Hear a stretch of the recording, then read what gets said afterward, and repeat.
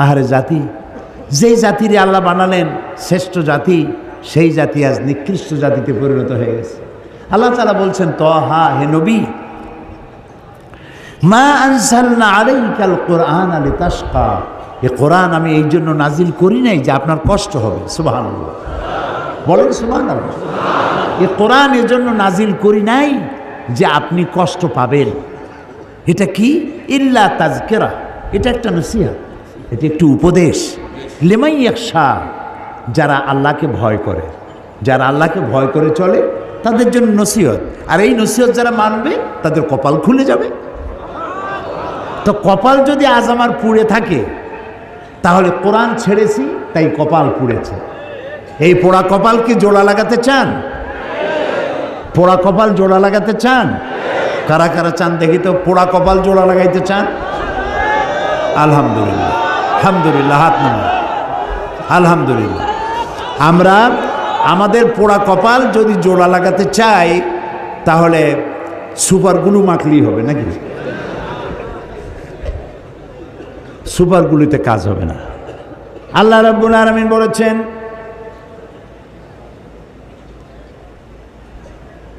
আমি ইন্নাল্লাহা লা ইউগাইয়িরু মা বিকাওমিন।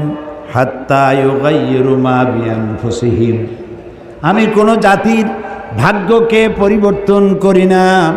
যতক্ষণ পর্যন্ত সেই জাতি নিজের ভাগ্যই নিজেরা পরিবর্তনের জন্য সচেষ্ট হয়। তোমরা যদি তোমাদের ভাগ্যকে পরিবর্তনের জন্য সচেষ্ট হও, তাহলে আমি তোমাদেরকে ভাগ্য পরিবর্তন করে দেব। এটার নাম পরশ পাথর। এটার নাম কি? পরশ পাথর। আল্লামা আলতাফ হোসেন হালি তিনি বলছেন उतर कर गहरा से सुए कौम आया उतर कर गहरा से सुए कौम आया और एक नुस्खे किमिया सथलाया নবী করিম সাল্লাল্লাহু আলাইহি ওয়াসাল্লাম একটি অধবতিত সমাজকে কি করে চরিত্রবান বানানো যায়? কীভাবে ভালো বানানো যাবে? যেই জাতি চুরি করে, ডাকাতি করে, জেনা করে বেবিচার করে, মানুষ মানুষের মর্যাদা যেই জাতির ভিতরে নাই, এই জাতির ভাগ্য কেমনে ভালো হবে? হেরা পাহাড়ে বসে তিনি চিন্তা গবেষণা করতে লাগলেন। চল্লিশ বছর বয়স যেদিন পূর্ণ হয়ে গেল, আল্লাহ তালা কোরআন নাজিল করে দিলেন। হেরা পাহাড় থেকে কোরআনের আয়াত নিয়ে তিনি দুনিয়ায় অবতীর্ণ হলেন দুনিয়া এলেন। কোরআনের সংস্পর্শে যারা এলো জিরোগুলি সব হিরো হয়ে গেল। আল্লাহ আকবর। আল্লাহ আকবর। আল্লাহ আকবর। হজরত উমর হজরত উমর যিনি আল্লাহ নবী হত্যা করতে আসছে, সাধারণ মানুষ না আল্লাহ নবী হত্যা করা কত বড় কঠিন কাজ। সেই রসুলকে হত্যা করতে আসছে।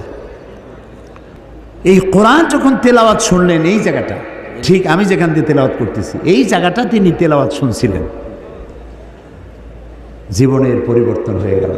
কোরআনের নির্ভুলতার অকাট্য দলিল এ বিষয়ে বলছেন আল্লামা দেলোয়ার হুসাইন সাইদি পৃথিবীতে সব জিনিসের নকল বেরো আসল বেরোবার আগেই নকল বেরো আর নকলে তো বাংলাদেশ চ্যাম্পিয়ন পৃথিবীতে সব জিনিসের নকল আছে আছে না? কিন্তু কয়েকটা জিনিসের নকল নেই। তার মধ্যে একটা হচ্ছে কোরআন। সোহান পারবে না?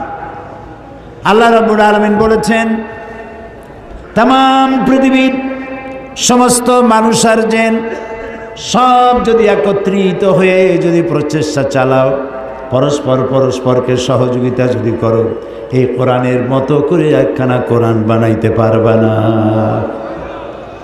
আল্লাহ তালা আরও বলেছেন, যদি পারো তো কোরআনের মতো একখানা কোরআন বানাও। এই চ্যালেঞ্জ কেউ কবুল করতে পারল না। আল্লাহ পাক তার চ্যালেঞ্জকে আরও একটু সহজ করে দিয়ে বললেন, দশটা সুরা বানাও। তাও কেউ পারল না। আল্লাহ এই পরীক্ষা আরও সহজ করে বললেন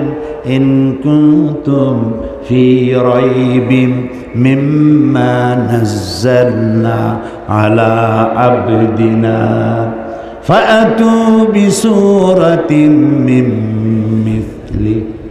আমার বান্দার উপরে আমি যে কোরআন নাজিল করেছি, যদি তোমাদের সন্দেহ হয়, তাহলে কোরআনের মতো করে ছোট্ট একটি সুরার মতো করে একটা সুরা বানাও।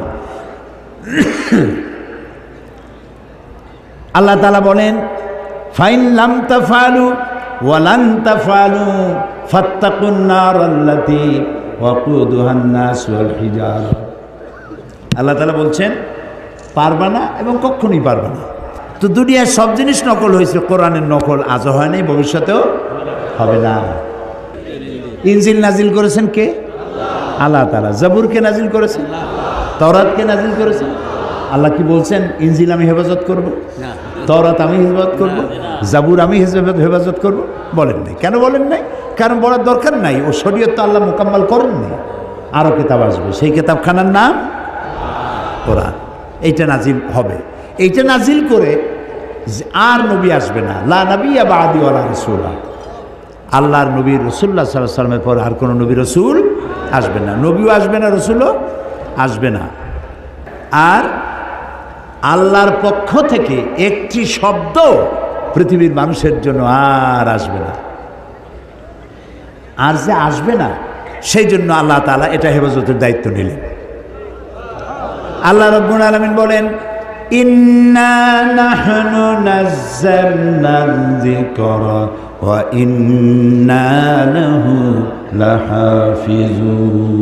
কোরআন নাজিল করেছি আমি আল্লাহ, আর এর সংরক্ষণের সবটুকুন দায়িত্ব আমি আল্লাহ গ্রহণ করেছি।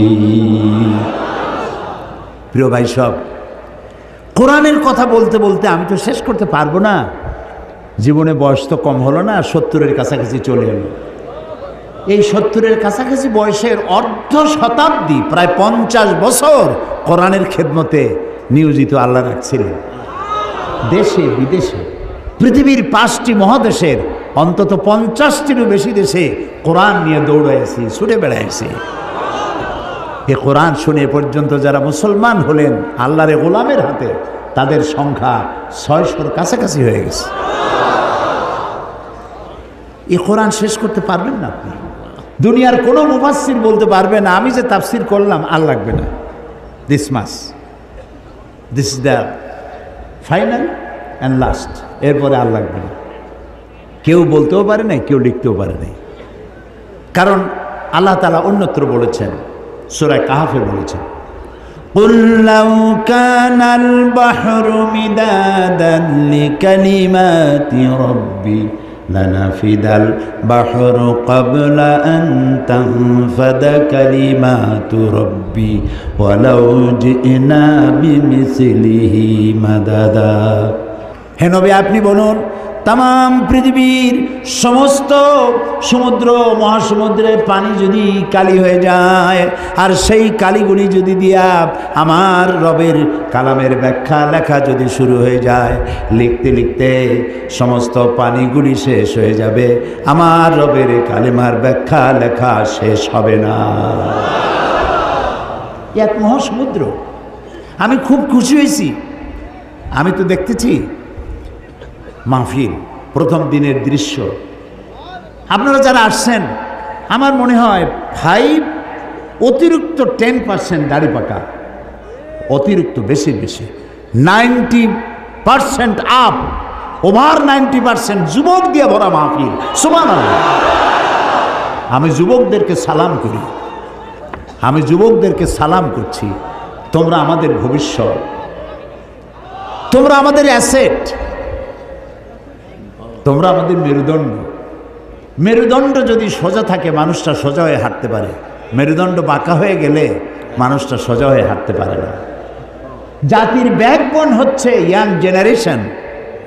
নষ্ট হয়ে গেল সিনেমা, নাটক, গান, ওপেন কনসার্ট, নষ্ট হয়ে গেল। আহারে। অথচ এরাই হতো শাহজালাল, এরাই হতো শাহ মাকদুম, এরাই হতো খান জাহান আলী। এরাই হতো শহীদ তিতুমির এরাই হতো হাজি শরিয়তুল্লাহ। আহারে কপাল খারাপ। কি সুন্দর সোনার টুকরা ছেলে। গান, বাজনা, নাচ। রাস্তায় হাঁটে আর ঢোলে। এদিক লাফায়, ওদিক লাফায়। জিজ্ঞেস করলাম, ওরম করে কেন? এর কি কোনো মানসিক প্রতিবন্ধী নেই? কয়, না হুজুর, কোমরের মধ্যে ওয়াকম্যান আছে। ওয়াকম্যান কি? যে ওর মধ্যে গান বাজে আর কানের মধ্যে ঢুকানো আছে। রাস্তায় গানের তালে তালে হাঁটে। রিক্সার তলে পড়ে না ট্যাক্সির তলে পড়ে, দিশা নেই, খালি শুনতেছে। ওই যুবকের দোষ না তো? ওই যুবকের যদি দোষ থাকবে, তাহলে সিনেমায় থইয়া ও তাফসির মাহবিল আসছে কেন? ও তাফসিরের মাহবিল আসছে যুবকের গায়ে মুসলমান মায়ের রক্ত। ওর গায়ে মুসলমান পিতার রক্ত। ও তাফসির ছাড়া যাবে কই? সুবাহ যেখানেই থাকুক, ঘরের ছেলে ঘরে ফিরে এসেছে, আলহামদুলিল্লাহ। আলহামদুলিল্লাহ। সবাই বলেন আলহামদুলিল্লাহ। যুবকদের বেশি করে কোরআন পড়া দরকার, কোরআন বোঝা দরকার। কিন্তু তা পড়তে দেওয়া হয় না, বুঝতে দেওয়া হয় না, ওরা তো যুবক মানুষ বোঝে না। গল্পের বই কেনে, নাটক, উপন্যাস। এই নাটক, উপন্যাস, গল্পের বই, ওতে আছে কি? একটু পরে তুমি তোমার বিবেককে জিজ্ঞেস করো, যত বড় লেখক, আমি নাম নেব না কোনো লেখকের। বহুত বড় বড় লেখক আছে, তাদের লেখা নভেল নাটক ইত্যাদি, এত বড় বড় বই, রচনাবলী, এগুলো পড়ে। ওর মধ্যে আছে কি? রাজার মেয়ের সাথে কোতোয়ালের ছেলের প্রেম হলো সেই প্রেম ক্রমান্বয়ে গভীর থেকে গভীরতর।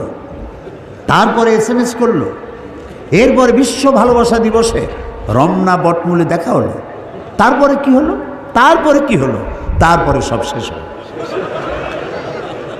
কিন্তু একটা রোমান্স একটা রোমান্স পয়সা খরচ করে যে বইটা পড়লা, কি শিখলে? আড়াইশো, তিনশো টাকা দিয়া প্রিয় লেখকের লেখা বই কিনছো। আহারে, কিচ্ছু পাও নাই, কিচ্ছু নাই। Zero plus zero plus zero plus zero from Bogura to Gabtoli. কিচ্ছু নেই। আর কোরআন শরীফ পড়ো প্রত্যেকটা লাইন তোমাকে সোনার টুকরা বানায় দেবে। আহারে কোরআন হাজরত ওমর বলেন, জেহালাতের সময় আল্লাহর নবীকে লাঞ্ছিত করার জন্য আমি হারাম শরীফে প্রবেশ করলাম। আমি দেখতে পেলাম তিনি নামাজ পড়ছেন। মনে মনে ভাবলাম, নামাজের সময় কিছু করব না, নামাজটা শেষ হয়ে যাক। রসুল নামাজের মধ্যে তেলাওয়াত করতেছিলেন, শব্দ করে, আওয়াজ করে তেলাওয়াত করতেছিলেন। আমি পেছনে দাঁড়ানো, নামাজ শেষ হলি টর্চার করব। তেলাওয়াতে এত মজা লাগল। মজা তো লাগবেই, একে তো কোরআন, আর তেলাওয়াত করতেছেন তিনি, যার উপরে নাজিল হয়েছে। সুভান সুভান আল্লাহ আকবর। কি মজা? যার উপরে নাজিল হয়েছে, তিনি তেলাওয়াত করছেন হাজরত ওমর বলেন, তেলাওয়াত শুনে মনটা পাগল হয়ে গেল। মনে মনে ভাবলাম, মোহাম্মদ সাল্লা সাল্লাম তো জীবনে কোনো কবির সাথে চলাফেরা করেন নাই। নিশ্চয়ই কোনো জেন তাকে রাতের বেলায় কোনো জেন তাকে শিখায় দিয়েছে। নইলে মিলায় মিলায় কীভাবে বলে? এটা বোধহয় কোনো জেনের কথা হবে। হাজরত তোমার বলেন, আমি যখন মনে মনে ভাবলাম, গণক হয়ে গেছেন, তখন আমি শুনতে পেলাম, তিনি তেলাওয়াত করতেছেন, ওয়ামা হুয়া বিকাউলি কাহিনিন কালিলাম মা তাযাক্কারুন। না না, এটা কোনো গণকের কথা নয়। আল্লাহু আকবার। হাজরত ওমর বলছেন, আমার কাছে মনে হচ্ছিল যেন আমার পায়ের তলা থেকে মাটি সরে যাচ্ছে। কি আশ্চর্য। মনে মনে যা চিন্তা করি তারই জবাব আসে। আচ্ছা এটা জেনের কথা নয়, কবির কথা নয়, গণকের কথা নয়, তবে এটা কি?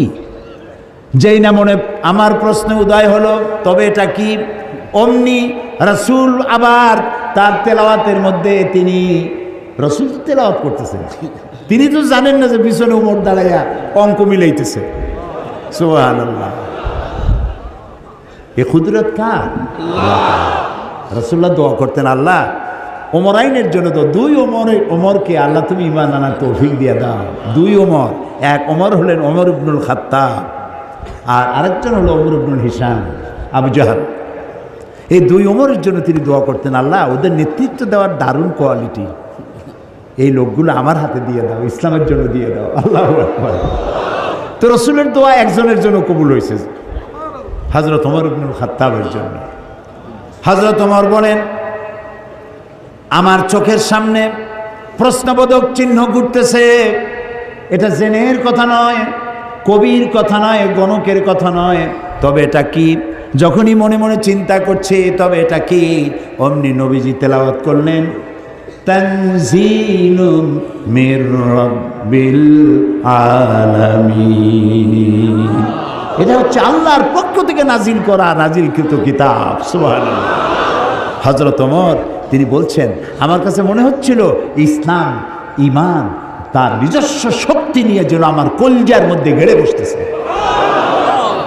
কিন্তু তখনও হেদায়তের সময় আসে নাই বলে তখনও তিনি ইমান আনতে পারেন নাই। পরবর্তী সময় সুরার, আমি যেখান থেকে তেলাওয়াত করলাম সুরায় তহার, এই তেলাওয়াত শুনছিলেন আর তারপরে তিনি যে তরবারি দিয়ে রসুলকে হত্যা করতে গিয়েছিলেন এগুলো আপনাদের জানা আছে। সেদিকে যেতে চাই না। তরবারি টরবারি ভালাই দিয়া, লা ইলাহা ইল্লাল্লাহু মোহাম্মদ রসুল্লাহ ইমান নসিব হয়ে গেল। তো এই কোরআন হিরো, জিরোকে কি বানাই দিল? বলেন, হিরো বানাই দিল। আর কোরআনের সাথে যারাই বেয়াদবি অতীতে করেছে বর্তমানে করে, ভবিষ্যতে করবে। সে যত বড় হিরো হোক, আল্লাহ তারে জিরো বানাই দিল ও বগুড়ার যুবকেরা বগুড়ার যুবকেরা, তোমরা কি জিরো হতে চাও না হিরো হতে চাও? যুবকদের যুবকদের উচ্চ কণ্ঠে শুনতে চাই, তোমরা কি হতে চাও? তোমাদেরকে হিরো বানাবে এই কোরআন এখন শুনব আল কোরআনের মহিমা বিষয়ে বয়ান। এই কোরআন একখান কেতাব। বিশাল বিপ্লব করেছে রিভলিউশন ইনকেলাব করেছে একখানা কিতাব। যারা চুরি করতো, ডাকাতি করত, যৌন চাহিদা মেটাবার জন্য একটা মেয়ে লোক দরকার। সেই মেয়ে লোকটা কার বউ, কার মা, কার মেয়ে দেখার কোনো চিন্তাই করতো না। তারা সে কামটা করতো। মানুষকে কেন হত্যা করব না? অমুকের সম্পদ কেন লুট করব না? এর কোনো যুক্তিসঙ্গত কারণ তাদের মাথায় ঢুকতো না। এইরকম একটা জাতি চুরি করতো, ডাকাতি করতো, মরুভূমির মধ্যে উঠ চড়াইতো। এই কোরআন মরুভূমির রাখালদেরকে দিগ্বিজয়ী সেনাপতি বানিয়ে দিল। এই কোরআন মরুভূমির উঠের রাখালদেরকে, ভেড়া, দুম্বার রাখালদেরকে ন্যায় বিচারক বাচ্চা বানাই দিল। বিচারপতি বানাই দিল। আস্থা দুনিয়া, অর্ধেকটা পৃথিবী মুসলমানদের পায়ের তলায় এনে দিল সুবহান আল্লাহ এই সেই কোরআন, যে কোরআনকে তোমরা ছেড়েছ, যে কোরআনকে আমরা ছেড়েছি, কোরআন বুঝতে চেষ্টা করি নেই। এ কোরআনের নাম কোরআন, এটার নাম কি? এটার নাম কোরআন, এটার নাম হুদা, এটার নাম শিফা, এটার নাম জিক্র এটার নাম নূর, এটার নাম তানজিল, এর নাম কিতাব। এই নামগুলি কি আমার বাপের বানানো? আমার বানানো? এই নামগুলি কার? আল্লাহ তালা ওল্লাহে আমি আপনাদেরকে আমার বাপের গপ্প শুনাইতে আসিনি। আজে বাজে গাজা ঘুরি কেসা কাহিনী শুনাইতে আসিনি। কোরআনের ওয়াজ করেই তো কুল পাইনি এক শ্রেণির লোক আছে যারা ওয়াজ করতে আসিয়া আজে বাজে গল্প, কেসা কাহিনী বলে মানুষ কান্দাই টান্দাইয়া তারপরে সর্বনাশ করে থুয়ে গেল। অনেক রাত শুনলো ওয়াজ। বাড়ি যখন যায়, লোকেরা জিজ্ঞেস করে, এত রাত কোথায় ছিলাম কমুক যায় গেছিলাম। কেন? ওয়াজ শুনতে গেছিলাম। কি ওয়াজ? আর সাংঘাতিক ওয়াজ। কে ওয়াজ করল? ও সাংঘাতিক বক্তা। তাছাড়া ভাই, সবই যখন সাংঘাতিক, কি শুনলা তার দু একটা আমার শোনাও না? কই এত সময় শুনছি, তার একটা কথাও যদি আমার মনে থাকে। তো এগুলোর তো কোনো দাম নেই। ওয়াজ হচ্ছে, যুবকরা আসে না কেন? তাফসির শুনতে আসে। সাধারণ ওয়াজ মাহফিলে, মিলাদ মাহফিল যারা করে যাইতে চায় না। কারণ ওখানে নাই কিছু সারবত্তা। একদিন নবী মুস্তফায় রাস্তা দিয়ে হাইটে যায়। হরিণ একটা বাধা ছিল গাছেরই তলায়। সাল্লাহ আলা মোহাম্মদ। আচ্ছা কোথায় পাইছেন? আছে কোথাও নবীর জীবন এরকম ঘটনা কোথাও হয়েছে? নবীর নামে, রসুলের নামে, আন্দাজে বানাইয়া বানাইয়া, কান্দার ভান করে মানুষ কান্দাইয়া, তারপরে সর্বনাশ করে ধুয়ে আর ইয়াং জেনারেশন যারা বিজ্ঞান পড়ে যারা ইতিহাস পড়ে, ভূগোল পড়ে, যারা ইন্টারনেট দেখে, ওয়েবসাইট দেখে, কম্পিউটার ব্রাউজিং জানে, তারা কম্পিউটার, ইন্টারনেট, ইমেল, ওয়েবসাইট, এই জগতের মানুষ তারা। তারা যখন এইসব কেসা কাহিনী শুনে, তো কয় যে, এ তো আদম আলাহ সাল্লামের যুগের কথা কয়, এগুলো শুনে আমাদের লাভ নেই। ওরা মনে করে ইসলাম মানে সেকেলে। ইসলাম মানে হচ্ছে এই মধ্যযুগীয় ব্যাপার স্যাপার, এর মধ্যে কিছু নেই। কিছু আছে কি না কালকে শোনাবো ইনশাআল্লাহ। এর মধ্যে কোন বিজ্ঞান চাও? কি চাও তোমরা? কি শুনতে চাও? তিবিয়ানান লিকুল্লি সেই সব কিছু আল্লাহর মধ্যে বলে রেখেছেন। ইতিহাস আছে। তিরিশবার মধ্যে আছে কি? একটু কৌতূহল হলো না জানার জন্য? আহারে কপাল। ডিসি সাহেবের কোর্ট থেকে, এসপির অফিস থেকে, অথবা জজ কোর্ট থেকে একটা চিঠি যদি আপনার নামে আসে, ইংরেজি ভাষা, সেই চিঠিটার অর্থ আপনি জানেন না। ভাষাটা জানেন না, ইংরেজি জানেন না। এখন ওই চিঠি বোঝার জন্য আপনার কি কোনো পেরেশানি হবে? নাকি হবে না? পেরেশানি হবে। এটা কি দুদুকের চিঠি নাকি? এটা কি আমাকে গ্রেপ্তার করার চিঠি? এটা কি আমার সম্পদ সব এই কি জানি কয়, নিলাম করে নেওয়ার চিঠি? জানার জন্য ছুটবেন, ভালো ইংরেজি জানে কে। যতক্ষণ পর্যন্ত চিঠির মর্ম না বুঝবেন, ততক্ষণ পর্যন্ত আপনার পেরেশানি দূর হবে না। এ কথা কি মিথ্যা না সত্য? তো একটা ডিসি অফিসের সামান্য একটা চিঠি এসপির অফিসের একটা সামান্য চিঠি, কোর্টের দুদকের একটা চিঠি বোঝার জন্য এত পেরেশানি হয়। অত বড় আকাশটার মালিক, জমিনের মালিক, আমার মালিক, একখানা চিঠি দিয়েছেন নাম কোরআন শরীফ, এইটা জানার জন্য আগ্রহ সৃষ্টি হলো না। পেরেশানি হলো না। আহারে পোড়া কপাল। সারাটা জীবন সুরায় ফাতিহা দিয়ে নামাজ পড়লাম। অর্থও জানি না, ব্যাখ্যাও জানি না। আহারে কপাল। বদকিসমত এই জাতি। এ কোরআনের, এ কেতাবের যতগুলি নাম আছে, তার মধ্যে একটি নাম হচ্ছে কোরআন। এটাকে আমরা হুদা যদি বলি, অনেকে চিনবে না। ওই কি এর হুদা? হুদা মানে বরিশালে ওদিকে হুদা মানে খালি। হুদাহুদি বলে। হ্যাঁ হুদা। এখানে কি বলে? আচ্ছা না বললেও কোনো এক সময় বলবেন। তো হুদা বললে বুঝবে না, তানজিল বললে বুঝবে না, নূর বললে বুঝবে না সেবা বললে বুঝবে না সব থেকে কোন নামে চেনে এটাকে? কোরআন। তারপরে ফোরকান বললেও চেনে। তা আবার চিন্তা করে ফোরকান তো চার কান এটা কি? ওটাও বুঝবে না। কোরআনই ভালো করে বুঝবে। তার প্রথম নামটাই হলো কোরআন। কোরআন মানে কি? কোরআন শব্দের অর্থ হচ্ছে বহুল পঠিতব্য, বহুল পঠিত, যা বারবার পড়তে হয়। এই যে নাম, সার্থক নাম, কোরআনের চাইতে বেশি পড়া হয়েছে পৃথিবীতে, এরকম একখান বইর নাম আপনি বলেন। বললে আমি পুরস্কার দিয়ে যাব। নাই। পৃথিবীতে এমন একটা মুহূর্ত নাই যখন কোরআন শরীফ পড়া হয় না। ভাবতে পারেন যে আমার এখানে যখন রাত একটা বাজে, তখন তো সারা দেশ ঘুমাই গেল, তখন কোরআন শরীফ কেনা পড়ে? আরে ভাই, আপনার এখানে যখন রাত একটা, আমেরিকায় তখন দিনের একটা, ওরা তখন জোহর পড়তেছে। আপনার জোহর, আরেকজনের আসর, আপনার এশা, আরেকজনের ফজর। সারা পৃথিবীতে সময়ের এই যে ক্লাইমেট এবং টাইম, এই টাইমের যে পরিবর্তন, সময়ের পরিবর্তনের ভিত্তিতে পৃথিবীতে একটা মুহূর্ত এমন নাই যে পৃথিবীর কোথাও না কোথাও কোরআন শরীফ তেলাওয়াত করা হচ্ছে। না এটাই একমাত্র কিতাব যা মানুষ বুঝেও পড়ে না বুঝেও পড়ে রাতেও পড়ে দিনেও পড়ে। সোবাহান আল্লাহ আর যারা পড়ার সুযোগ পায় না শোনারও সুযোগ পায় না মাসে অন্তত একবার তারাবিতে গোটা কোরআন শোনার ব্যবস্থা করা হয়েছে। কিন্তু এইটা ঠিক না যে শুধু আমি শুনব। কোরআন বহুল পঠিত। এর থেকে বেশি পড়া হয়েছে এমন কোনো কিতাব পৃথিবীতে নাই। এক। দু নম্বরে এর নাম হলো কিতাব। এর নাম কি? কিতাব। কিতাব মানে লেখা। কেতাবাত করা, লেখা। কোরআনের চাইতে বেশি লেখা হয়েছে, কোরআনের চাইতে বেশি প্রিন্টেড হয়েছে, ছাপা হয়েছে। এরকম একখানা বইয়ের নাম কি বলতে পারবেন? নাই। পৃথিবীর সর্বাধিক প্রিন্টেড সর্বাধিক ছাপা লেখা হয়েছে যে কিতাব, তার নাম কোরআন শরীফ।